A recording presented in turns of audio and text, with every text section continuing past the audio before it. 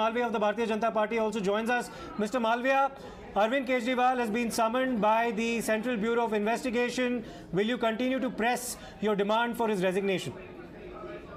Well, it is not unexpected or unusual for Arvind Kejriwal, who happens to be the Chief Minister of Delhi, to be summoned by the agency in the massive liquor scam that has unfolded in Delhi. As the Chief Minister, he is responsible for all the decisions his cabinet takes. And it's Manish Sisodia as Deputy Chief Minister was the one who was driving this entire scam, then it's quite unlikely that Arvind Kejriwal did not have a role in it.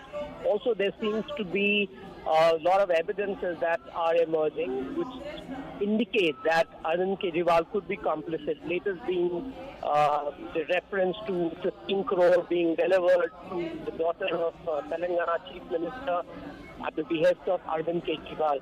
Then have Vijay Nair, a close associate of Arvind Kejriwal, who is in the ED net. So there are a lot of things that lead up to Arvind Kejriwal's doorstep. And uh, let him cooperate with the agency as the Chief Minister of Delhi, as a responsible, law-abiding citizen, which I'm hope I'm hoping he is.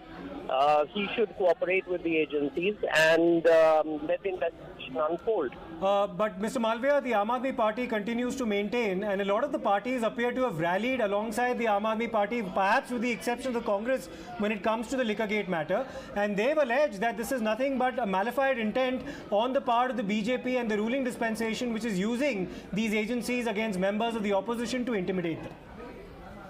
Look, if corruption is going to be the rallying point for opposition, then the country is watching them.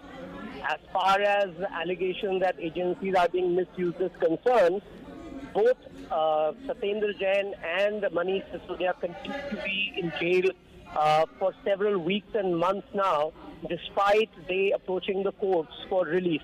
The courts seem to have found prima facie evidence of their involvement, their complicity in these scams, and that is why they have not been given bail.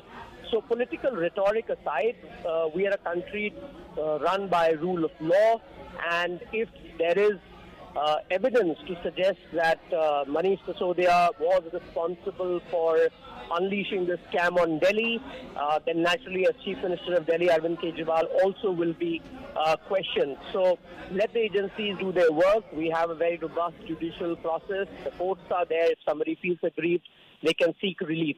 But the fact that they're not getting relief should tell you that uh, there is prima facie uh, corruption, and being an opposition does not mean you have immunity from investigation in cases of corruption. And, and Mr. Malviya, now that we're getting news that a sitting chief minister of Delhi is being summoned for questioning by a central agency with respect to the Liquorgate matter, uh, the, some leaders of the BJP in the past have said that Arvind Kejriwal's position as CM is untenable given the circumstances. Will that demand now only intensify now that he's been summoned? Well, let the investigation happen, and uh, as facts emerge, uh, naturally the demand for him stepping down would uh, gather steam. But like I said, as Chief Minister of Delhi, he is responsible for all the decisions that his uh, cabinet takes, and therefore it is quite unlikely that uh, he will be able to uh, pull himself away from this massive corruption. And naturally, somebody who's corrupt and likely to get convicted cannot continue as the chief minister. Thank you, Mr. Malviya, for your response.